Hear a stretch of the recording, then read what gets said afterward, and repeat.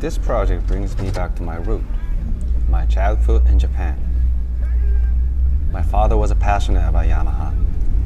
His XS650 was the first bike I touched and smelled and admired. So that's where it started. My love for motorcycles, my journey to where I am today, and my relationship with Yamaha. It's been really interesting and different to work on a new machine for the Rhapsody in Blue project. This XJR project was an open book for me. Its clean frame and Japanese styling, air-cooled inline-four engine design, it was inviting to try different ideas on a bike like this.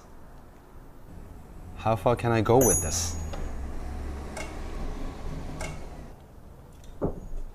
Taking the XJR 1300 to the different level, but that's functional and works. So I guess this is how far I wanted to go.